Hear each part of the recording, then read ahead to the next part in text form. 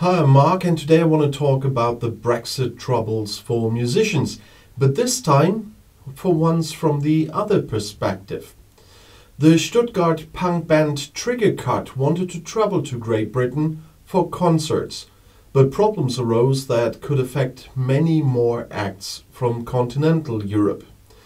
So the noise rock band Triggercut from Stuttgart had to cancel their UK tour. The band were not allowed across the border to the UK for strange reasons, according to a Facebook post from the band.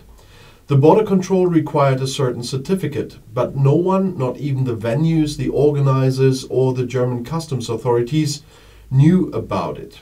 So, Brexit bureaucracy, a post Brexit nightmare is as the three noise rockers continued on Facebook. The tour for the new album Suit was originally planned from April 7th to 14th, and according to the Stuttgart guys themselves, they took on a considerable amount of planning.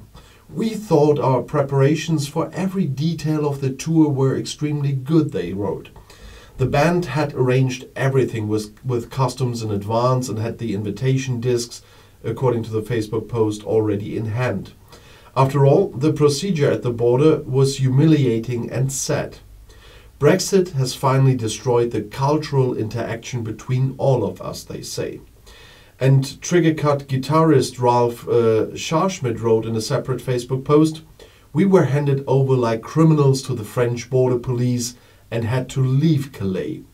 He also regretted months of planning 1750 kilometers drive to Calais and back to Stuttgart, costs for a rented van, expensive customs declarations, and ferry tickets, all for nothing. The incident, although probably no longer an isolated case, made the music scene sit up and take notice of it. Tim Burgess, singer of the successful Britpop band The Charlatans, who had three number one albums in the UK, even spoke of a nightmare. What happened to Trigger Cut is horrifying, says Burgess because bands from the EU faced with confusing and complex rules that mean UK tour dates may no longer be worthwhile, he said. Triggercut relied on their free permitted paid engagement, the PPE, to enter the country.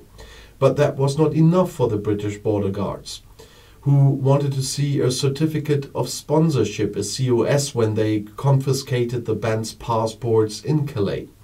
The COS involves a lot more bureaucracy. Not only does each individual concert location have to confirm the performance, but it also needs a guarantor who stands up for the band.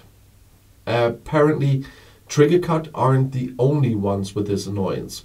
Ian Smith, a veteran music agent who The Guardian spoke to, confirmed many artists are stuck at the border because government guidelines are unclear. Another problem is that individual border guards have the discretion to refuse anyone at the border and there is no legal remedy. In any case, Triggercut's Scharschmidt is deeply frustrated. Despite all the love for music, these bureaucratic, cost intensive, humiliating conditions are unbearable at all.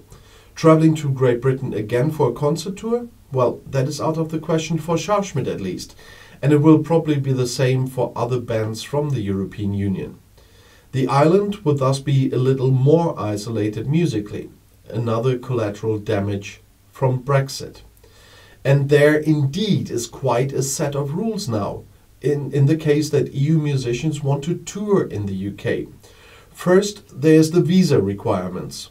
EU musicians may need a Tier 5 temporary worker or creative worker visa to perform in the UK for up to 12 months. This visa allows musicians to enter the UK for work related activities, including performances, and it must be obtained before travelling to the UK. However, some exemptions may apply for short term performances. Then there is the Certificate of Sponsorship, the COS. EU musicians will require a certificate of sponsorship or COS from a UK employer or sponsor to apply for a Tier 5 visa. The employer or sponsor must be a UK based entity that is licensed by the Home Office to issue COS. And then there's proof of sponsorship. EU musicians will need to provide evidence of sponsorship, which may include a letter from the UK employer or sponsor confirming the engagement and the details of the performances as well as other supporting documents. And then there's maintenance and healthcare. EU musicians may need to demonstrate that they have enough money to support themselves during their stay in the UK without requiring public funds and that they have comprehensive sickness insurance or health insurance. Then there's the equipment. EU musicians may need to provide a carnet for their equipment, which is a customs document that allows temporary importations of goods into the UK without paying customs duties. And then, of course, there's the traveling with musical instruments. EU musicians can travel with their musical instruments for their own use without requiring a visa, but there may be restrictions on selling or lending the instruments while in the UK. And so all of this was not necessary before Brexit, but now after Brexit, this is absolutely necessary. They had some trouble with finding the information, obviously. Um, I have to say, I'm sorry, I, I didn't have trouble finding it. And um, maybe I don't know who they asked if there were some some people from from uh, the border border uh, authorities in the UK that didn't know that that's quite possible the way some things happened there in the past, but it is findable. But uh, still, this is just another um, example of Brexit that makes everything more complicated. And I made several videos on the same for UK artists wanting to travel to the EU it might be in some places might be easier to find what the regulations are, but it's not less bureaucratic than the other way around. And I'll see you in my next video. I'll be back.